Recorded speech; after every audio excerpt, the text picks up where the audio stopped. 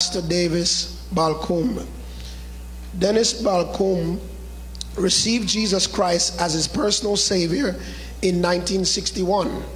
Also received the call of God on his life at a young age and traveled to China at the age of 24.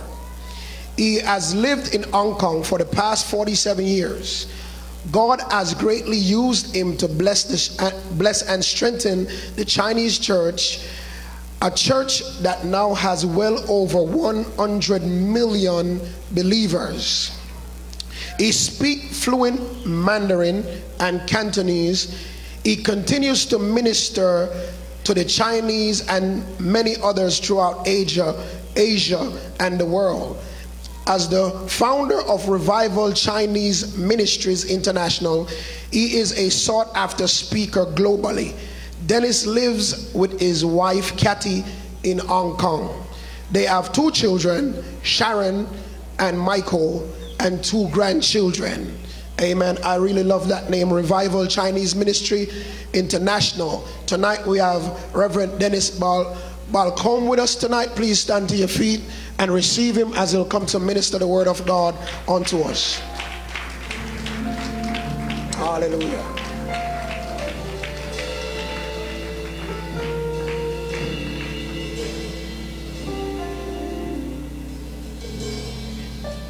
Thank you. Greetings in his wonderful name. We're in the house of the Lord and we're going to have a great evening in worship, prayer, and hearing the word of the Lord. You may be seated.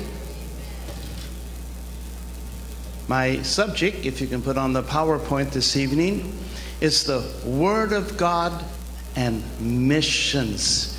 I'm a missionary. I love to talk about missions. Missions is different from mission. That little s makes a huge difference.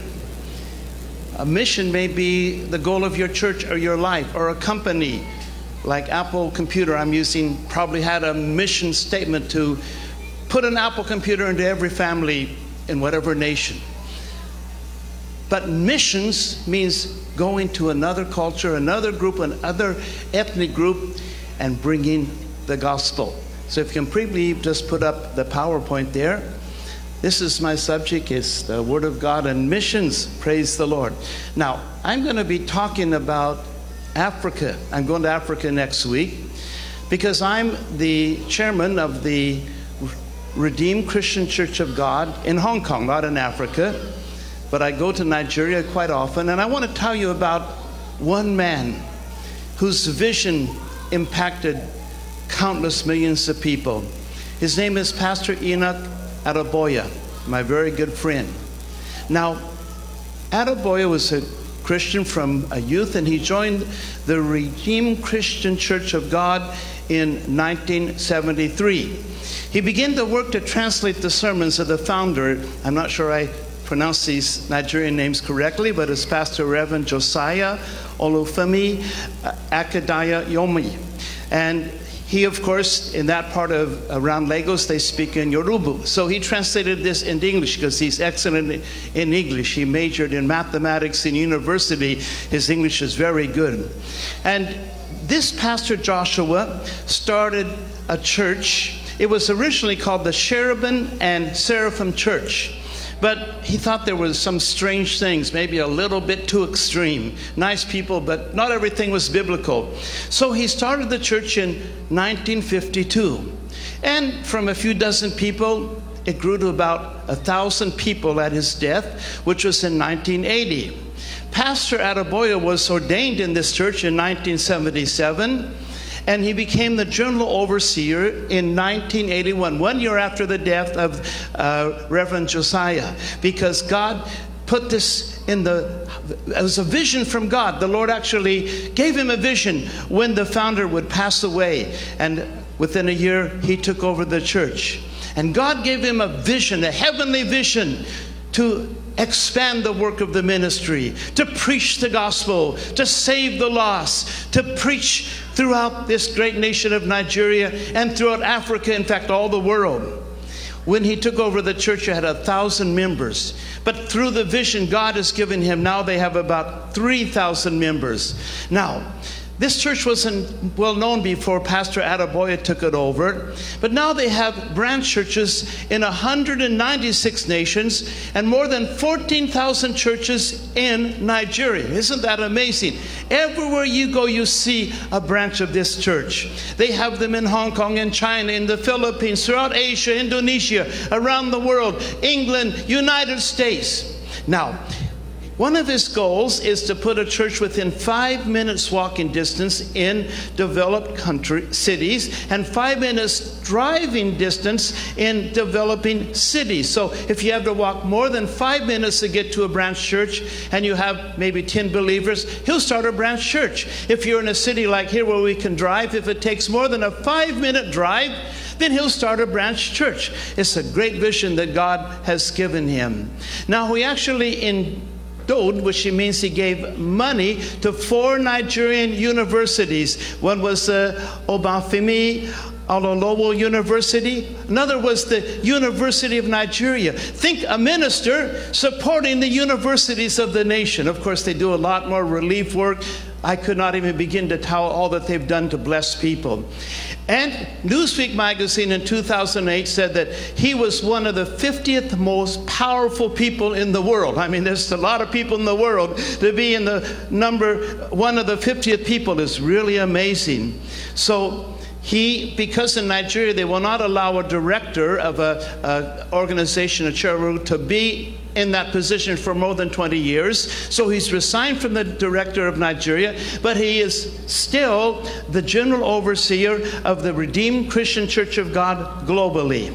Now, let me just spend a minute or two and talk about the mission of this church. You know, your church needs to have a mission. We're talking about turning point. What are we going to turn to? What are we going to do differently? What is our mission? What is our vision? What is our goal? How are we going to do it? You see, this is very important.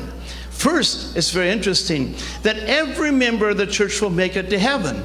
Now, that's important because I believe in preaching the gospel for 56 years. There's a lot of people sitting in the churches around the world that will not make it to heaven because a lot have not even been born again. They have only heard a social gospel, not the true gospel. They've never repent or they have one time been born again, but they went back in the ways of the world. So they won't make it to heaven. So it's important. I hope that everybody in my church, we have about 1,500 people. I hope that every single one will make it to heaven. That's what my goal is for my church. I want everyone, when they leave this earth, to stand before God and to enter the pearly gates and to worship with the angels. Hallelujah. Secondly, he says to do that, every member will live a holy life and not compromise with the world. Now, in Africa, a lot of you maybe have ancestors in Africa.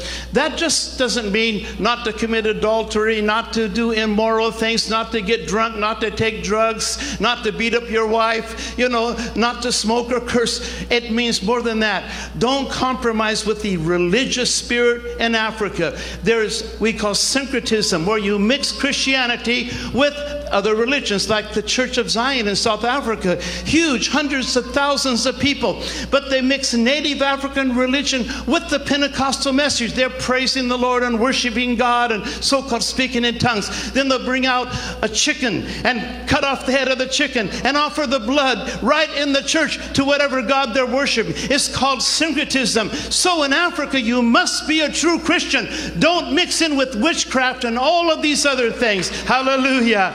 Live a holy life.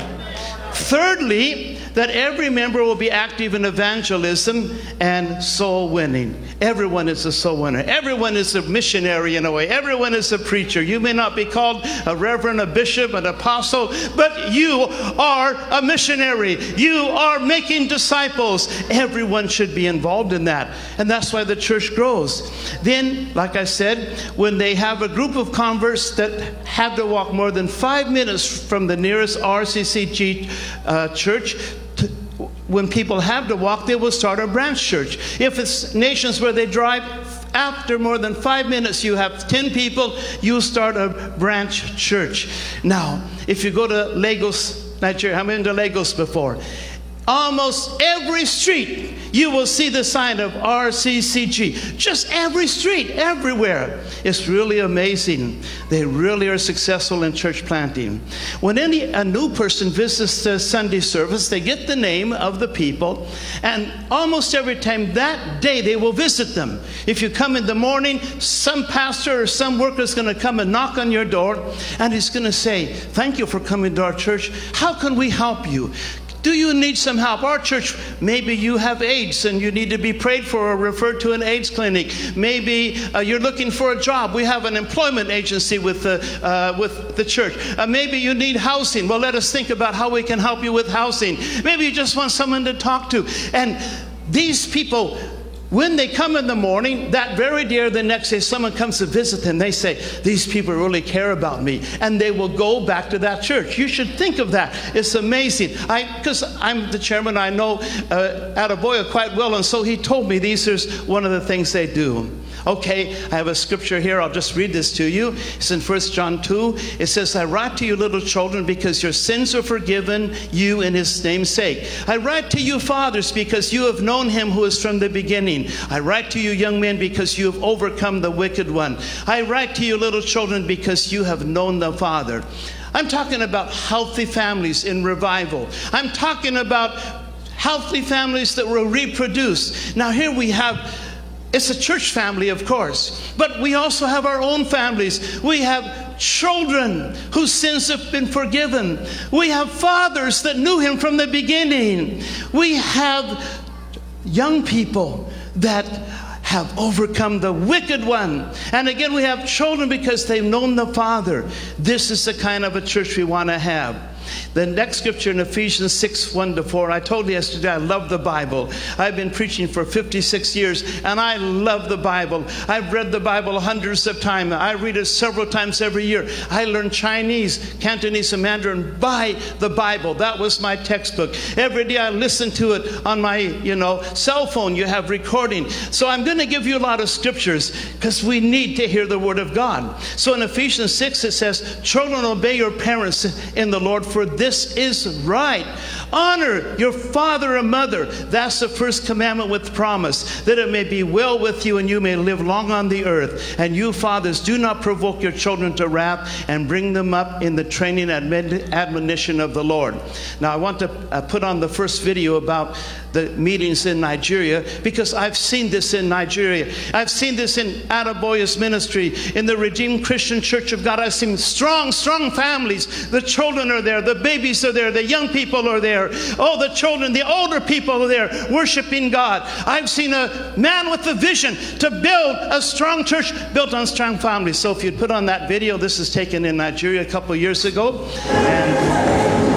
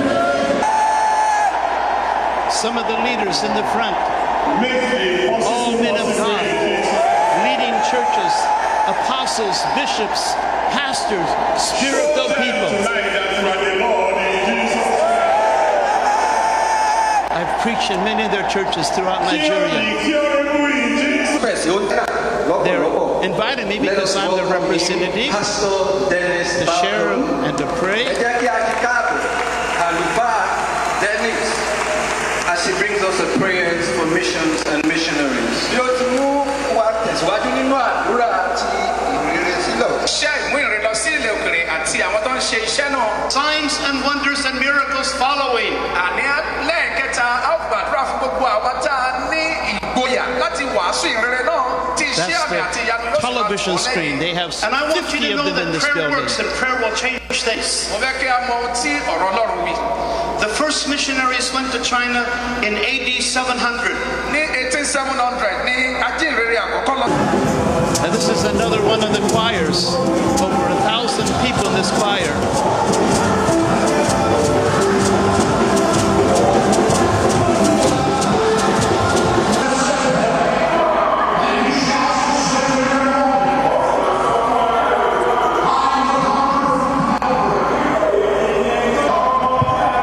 There's so many people, the building can't take all of them. Many are outside, thousands are outside.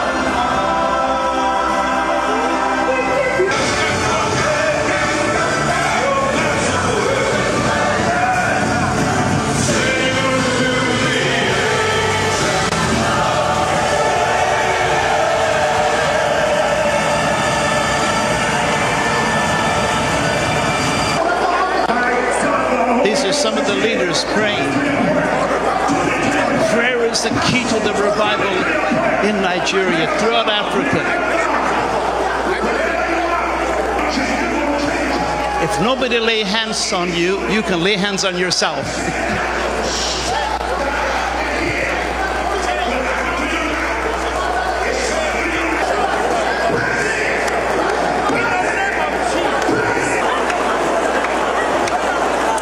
These are some of the congregation outside.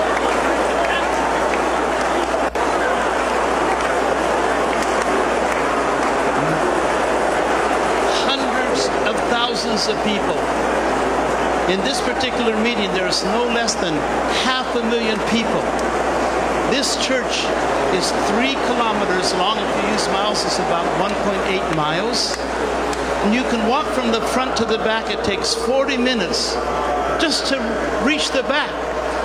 Every time you go, you will see many, many miracles. I go about every other year. You'll see hundreds of cripples get up and walk. You'll see blind eyes being opened. You'll see cancers disappearing as people pray. Because you have 500,000 spirit filled Christians that are praying in faith. You have men of God with the gifts of healing that are laying hands on people. And you will see miracle after miracle. I have many videos, no time to show some older, some going back to 1998, before they had this building. At that time, there was literally millions of people in the meeting that went on day and night.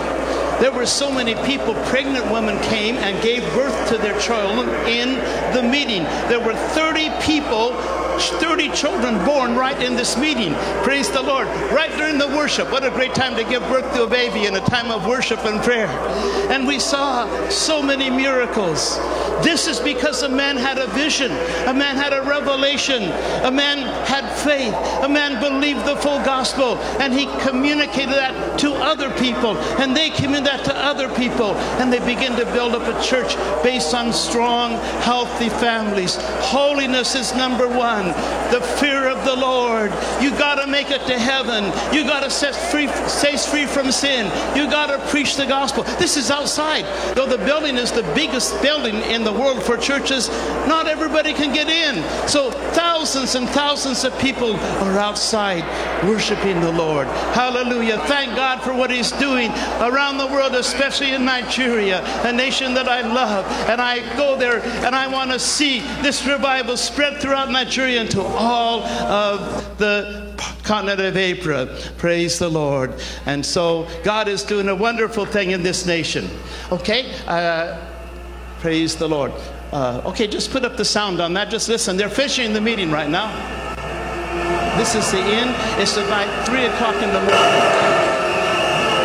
3 o'clock in the morning. That's how long the meetings go. They don't go home at midnight. They stay till 3 or 4 o'clock. These are some of the people came to the front to rejoice before the Lord.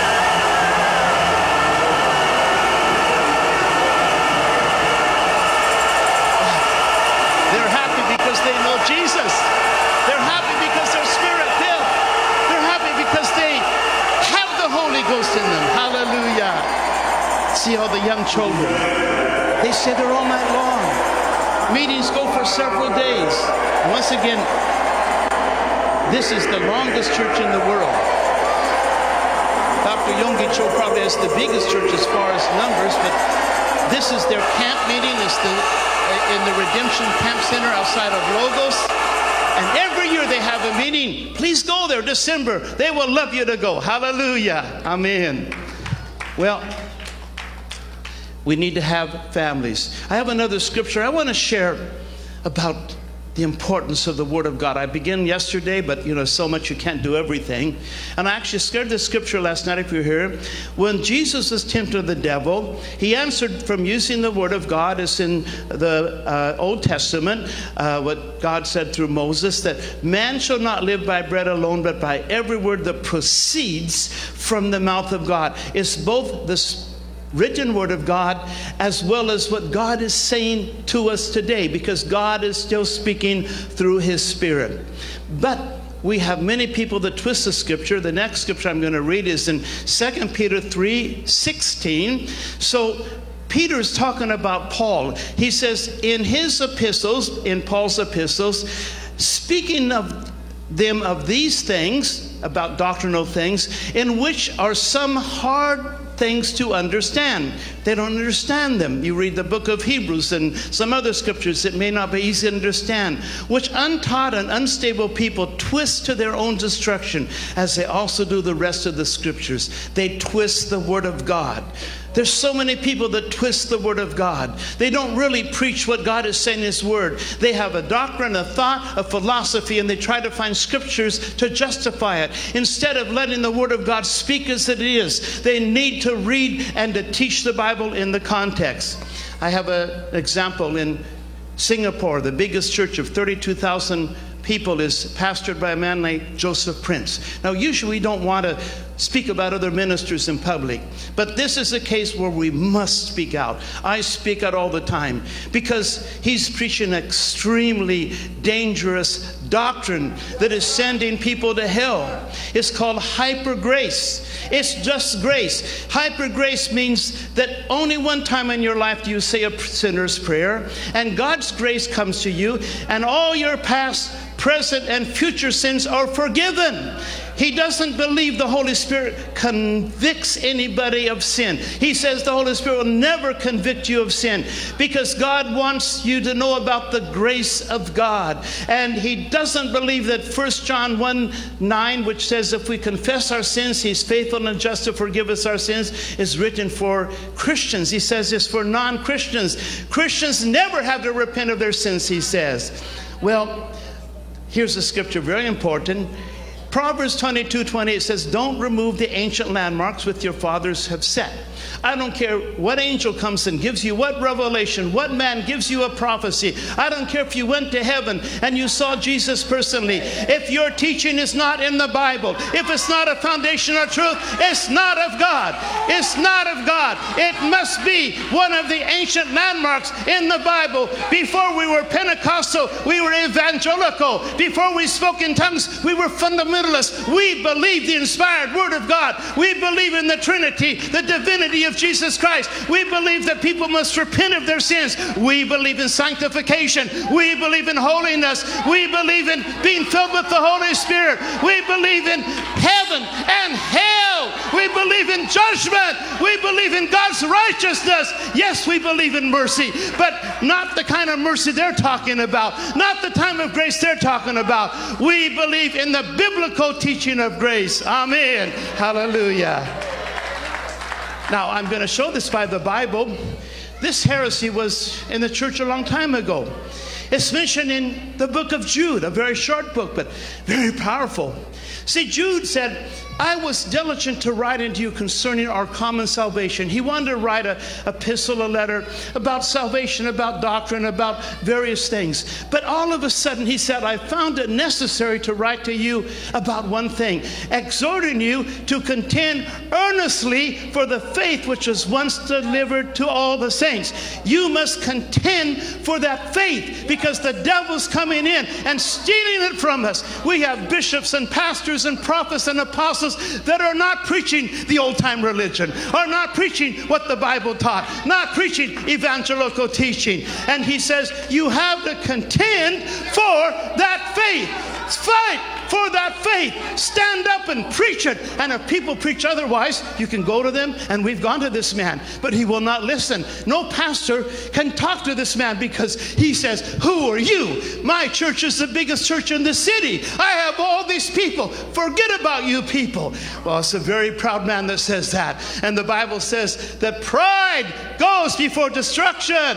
And this is, you can't talk to this man. He doesn't want to listen.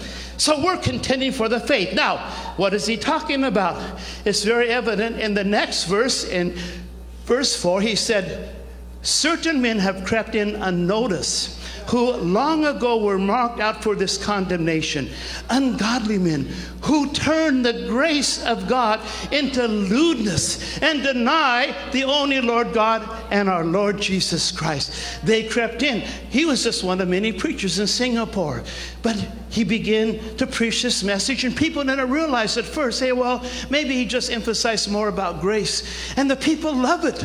Sinners can come to the church and they can be accepted. If you're in a church, say you're an elder, and you've committed adultery and had an affair, so the pastor comes and said, This is wrong. You must repent. You must sit down for one year and receive counseling. You know what that elder will do? He'll go to his church. It's called New Creation Church. He'll say, Pastor Prince, you know, I was in this other church, but I want to join your church. He said, Why did you leave? Well, they disciplined me for adultery. Oh, no problem. The grace of God is so great. I don't care what you did. God loves you. You can be an elder in my church. Exactly that happens. It's unbelievable. They turn the grace of God into lewdness and deny the only Lord Jesus. Amen. There's a man called David Pawson. He's an excellent Bible teacher. If you just get on the YouTube, David Pawson, he has some of the most excellent teachers in UK and England, but his English is very easy to understand. And he's teaching about the truth. Now, he has studied the original languages. Now, Joseph Prince said, I heard him two weeks ago in Hong Kong, you should never memorize the Ten Commandments because they're not inspired by God. They should not be in the Word of God. We don't have to keep the commandments now. But he said you should memorize John 3:16 because that's inspired by the Holy Spirit because it begins God so loved the world. But if you look in the original, Greek, it actually said, in the same way, this is Jesus talking about Moses in the wilderness, when the people murmured, they put a brazen serpent upon a pole. And all the people that looked on that, they were healed of the snake bite. So, in the same way, the Son of God shall be lifted up. It's not talking about our worship. He's lifted up on the cross and he's going to draw on men unto him. That's the biblical interpretation. In the same way, God the Father acted in love on another occasion.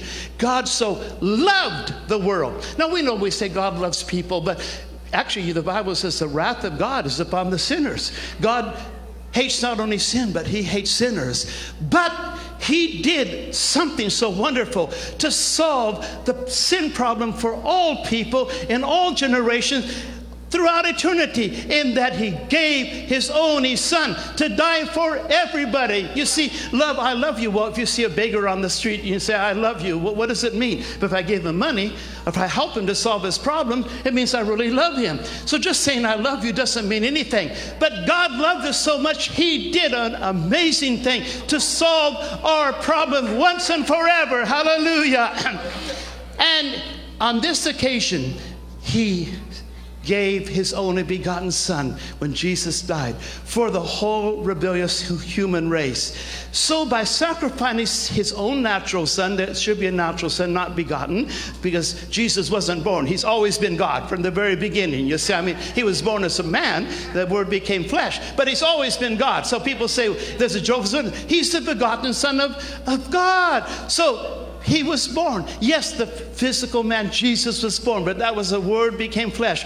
But he always existed. He's the natural Son of God, so that all that go on trusting and obeying him might never be ruined beyond recovery, but go on having everlasting and abundant life. Now, that's what the Greek says. Now, the word believe in him in English, in Greek it means continue, present, tense. You have to continue believing on Him. Yesterday you believed, today you believe, tomorrow you believe. Maybe next week there's going to be persecution or temptation, but you say, I'm going to believe. I'm going to hold on to the end. I'm not going to give up on my faith. I'm going to serve the Lord. You have to continue to believe. And if you do that all your life, the day you die, you will be in heaven. Amen. But if you stop believing, you refuse to obey His word, you refuse to call upon the Lord, and eventually sin comes in.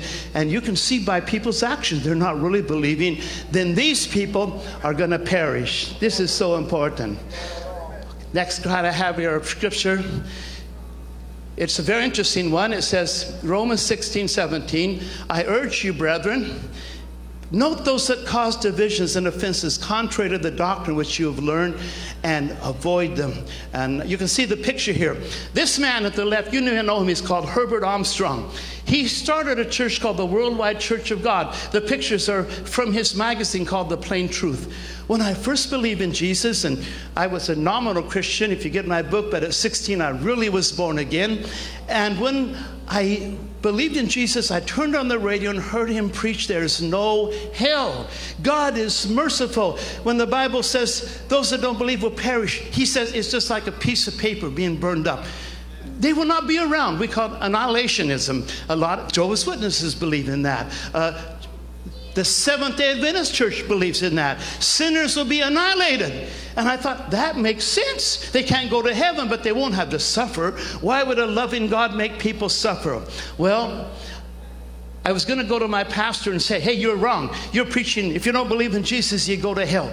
But I was a little bit wise. I said, well, man, I haven't read the Bible. I better read the Bible first to really see if this doctrine is right. So I read the New Testament from Matthew to Revelation. That's before I had computers and all these electronic gadgets. I just got A4 paper, uh, uh, maybe letter size in America, and I got a pen and I wrote down all the scriptures that talked about hell, about judgment, about punishment. I had 10 pages on both sides. I was shocked. Hell is real. There's worms, but they never die. There's smoke that goes up. There's wailing and gnashing of teeth. There's fire. The devil is there. It's a terrible place, and it's forever and ever. And people that don't believe in Jesus will go to hell. I saw it in the Bible. I said, This man is a false prophet. Oh, I'll never read his stuff. I'll never listen to him again.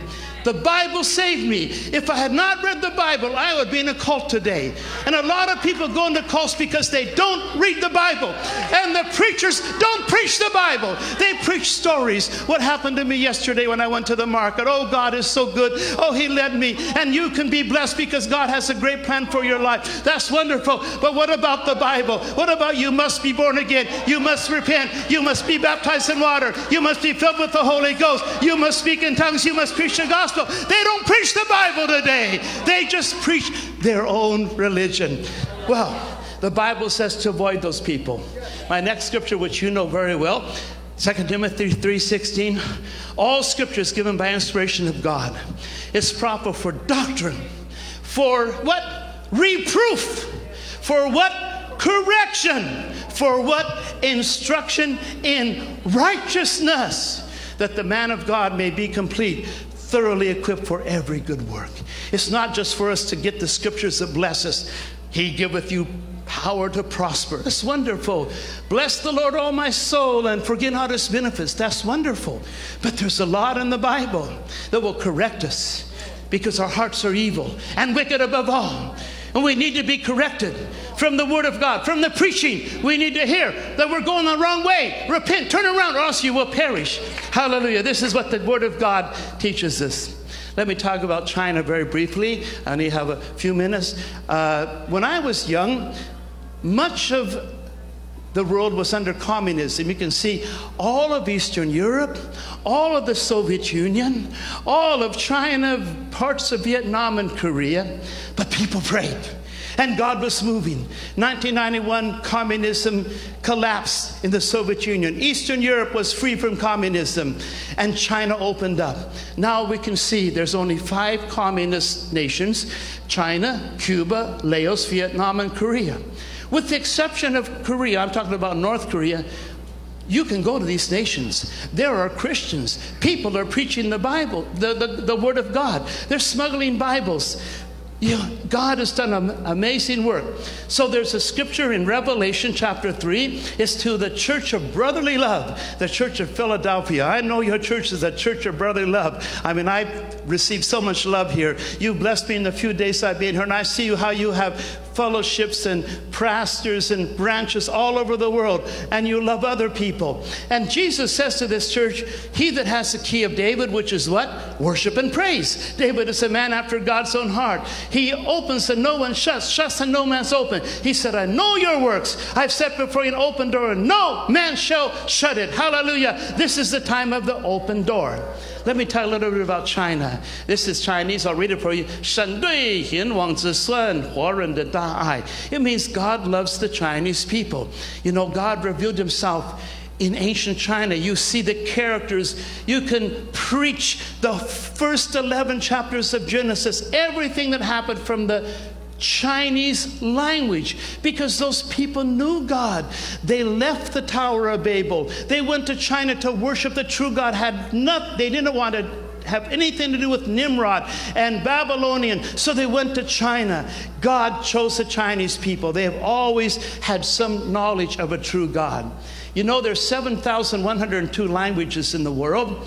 Now, how are we going to evangelize the world? Well, there's only 23 languages that are spoken by more than 50 million people. So if anybody's smart enough to learn 23 languages, it wouldn't be easy, but people could do that. I speak several languages. People speak 10, 20 languages in, in Europe. Well, you could preach to 4.1 billion people, but only 335 million people speak English. Now, here we see the Chinese is spoken as another tongue by 1.2 billion people. English is used by only 335 million people as the mother tongue. But altogether, people understand English in the world about 1.5 billion people. Like in Nigeria and India, a lot of people speak English. Well, God has blessed the Chinese. This is our language. It's actually characters, and you can see on the left hand side was the picture. Like the fourth one down is a horse. And then on the right hand side, you can see how we ride a horse today. Our one, two, three, four, five is a fish. You can see it looks like a fish. And the right hand side is how we ride fish today. Or you see the one that looks like a circle with a line. That used to be called the sun. And uh, you can see how we ride a today, which is actually in the term for Japan. So it's not hard to learn the language because they're all pictures.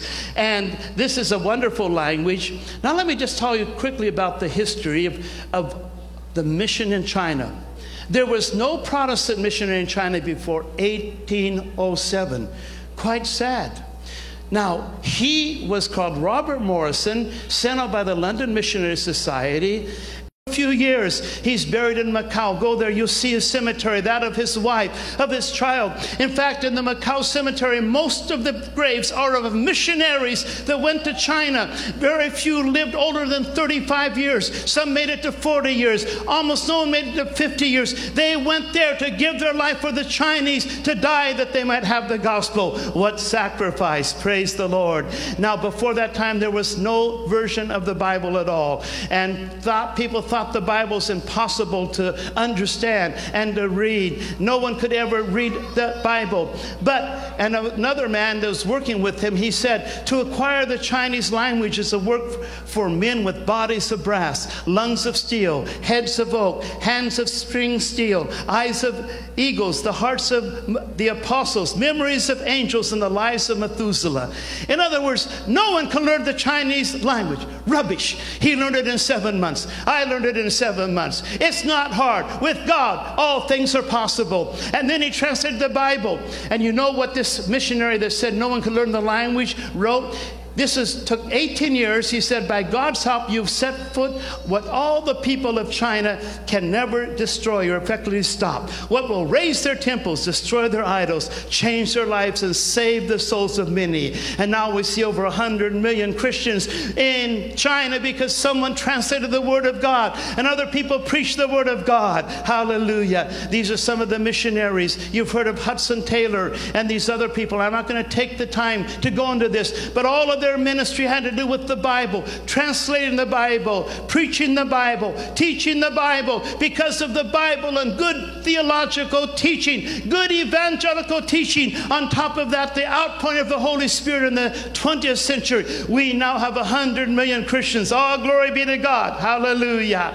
You know, many missionaries were martyred. In 1900, 45,000 Christians and 266 Western missionaries had their heads cut off. But more missionaries went back to China. There's been a total of 250,000 missionaries and Chinese Christians and preachers that have been martyred for the Christian faith. But we say the blood of the martyrs is the seed of the church. Yes, we've had more martyrs in China than any nation. Many of my friends have been killed. I've been in prison. Many have been in prison. Today, many are still in prison. But persecution only causes the church to grow. When you're martyred, more people will rise up and preach the gospel. And now we have the largest church in the whole world because people are dedicated to preach the true gospel. Hallelujah. Thousands of messengers came from the West, much misunderstanding, much hostility, much hardship. Why did they do this? This is a missionary that's in the stockade. She's going to have her head cut off after this picture's taken. The three Chinese at the bottom, they're going to have their head cut off. This is the 20th century.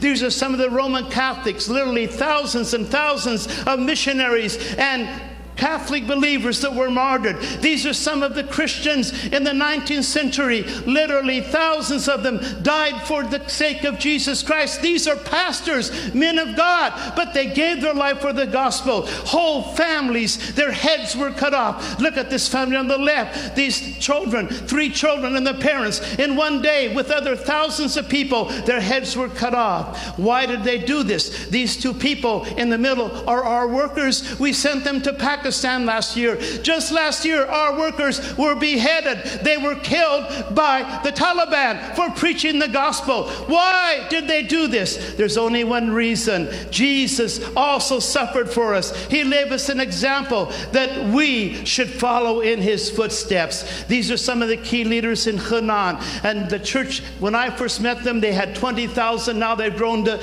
over 5 million people. I'm going to just take few minutes and tell you one of the great miracles that happened. It happened in the Cultural Revolution. Chairman Mao launched this in 1966 to rid the bad elements and bring in real communism.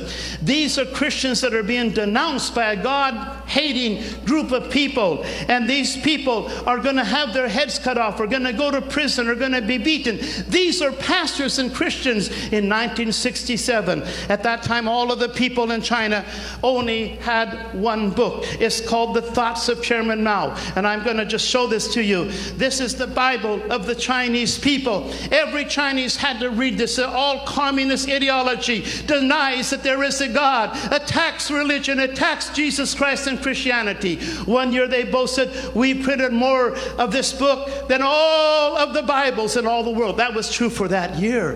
That only for that year. They had to carry this book. That was the Bible for over 1 billion Chinese people at that time. They had to memorize that book. They could not have the Bible. If they had the Bible, they'd be in big trouble. Here, the Bibles are being burned and they're going to be destroyed by the Red Guards. Thousands and thousands of Christians gave their life for the Word of God. This man is beating up idols. He's beating up uh, Buddhist texts and also the cross and Christianity. All religion was outlawed in China. All the pastors were sent to prison. Every church in China was closed. All they had was hand copied Bibles. I'm going to finish and just tell you the importance of the Word of God. And tomorrow I will be. Uh, continuing on this subject because it's very important. You know, you can't do a lot in 45 minutes, but I'm doing my very best. Praise the Lord. Okay? I want to just show you some of these things here. Uh, So to encourage you, when I was young, you know what we like to do? We like to smuggle Bibles. We used to go to Eastern Europe. This is the Gospel of John the whole Gospel of John in Russian. If, when I was young, we looked for excitement. We'd smuggle Bibles. Even now, we smuggle Bibles into North Korea. This is the whole New Testament in Korean. We do this. Praise the Lord. My friend in Australia was arrested two years ago. We thought he'd get 15 years in labor camp, but he was only released after a few months. He said nothing at all. I'm willing to die if I can give the Koreans the word of God. Every day people are taking this into North Korea. What are you doing to give people the word of God? Do you even give people in free nations the word of God? Let me just close in a few testimonies. When I went to China, there was no Bibles at all in China. Every single Bible had been destroyed. So they gave me some of the hand copied Bibles because I started to take Bibles. By the way, my church has taken over 12 million Bibles into China since China opened in 1978. Hallelujah. It's the help of many people. This is one of the hand copied Bibles.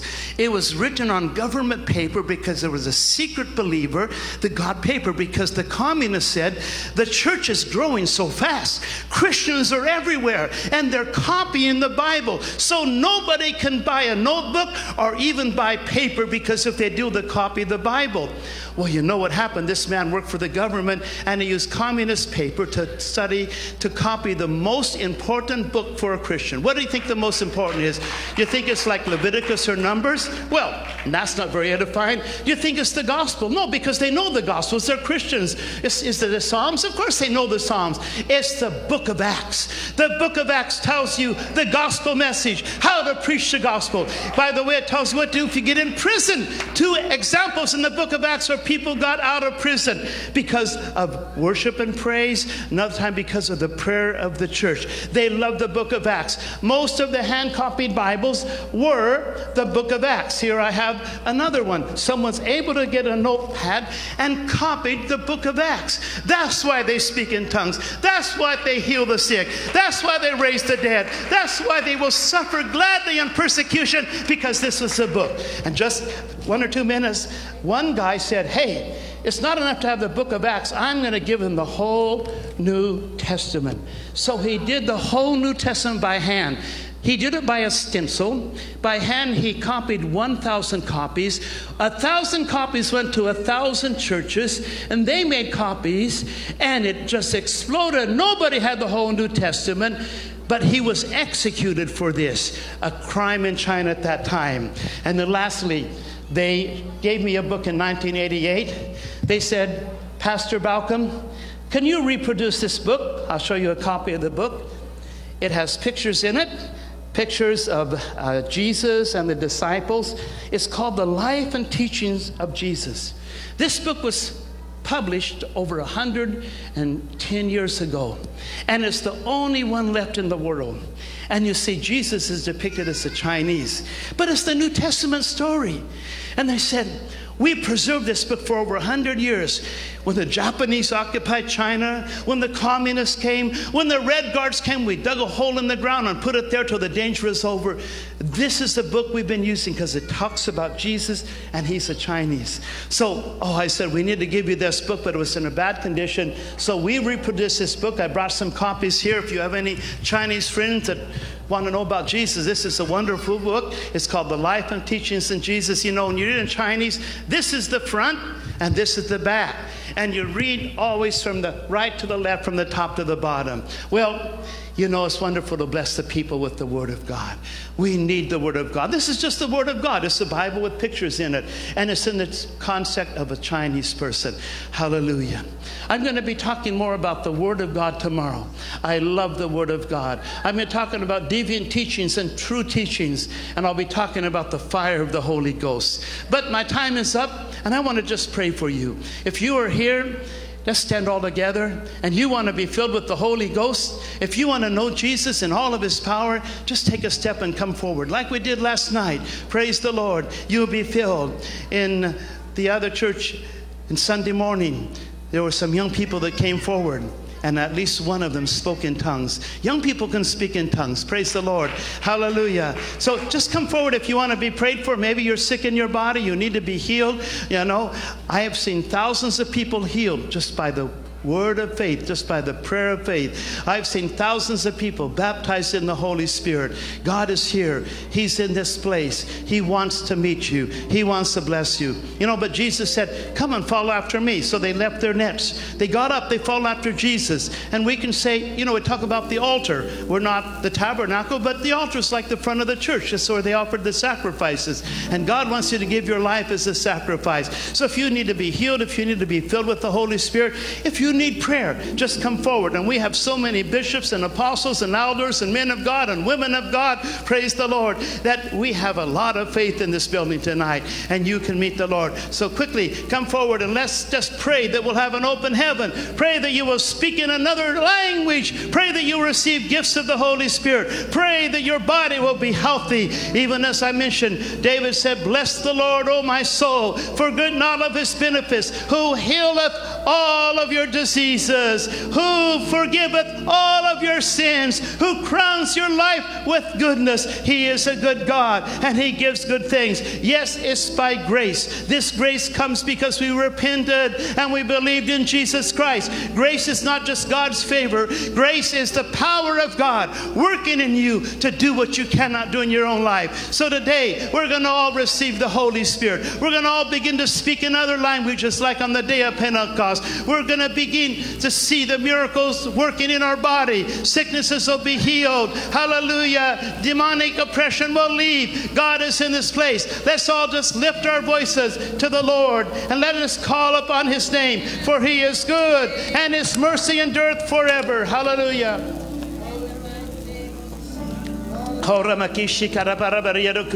Speak in another language. And you that haven't, by faith open your mouth. Speak in a heavenly tongue. That's the baptism of the Holy Ghost. Haramato ripakara shikara paraboda. Hora kiria da shara bariaduko. Ramatoko rabariada shara bariada. Just speak it out. Everybody begin to pray. Pray out loud and call upon the name of the Lord. Create an atmosphere of faith in this building. Oh ramatako rabariada shikara barabariaduto. Oh Lord, fall upon your servant. Fall upon your handmaiden. Fill her, Lord. Ram Bring healing, health, oh Lord, deliverance. Oh, Blessing of the Holy Spirit. Oh, the river of liver, living water will flow out, flow out, flow out.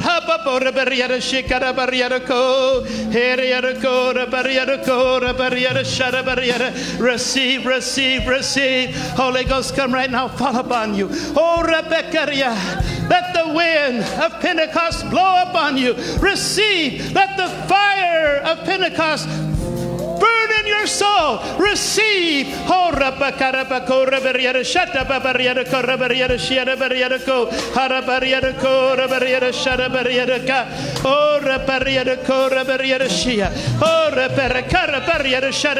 Receive. Receive. Holy Ghost fire. Holy Ghost fire.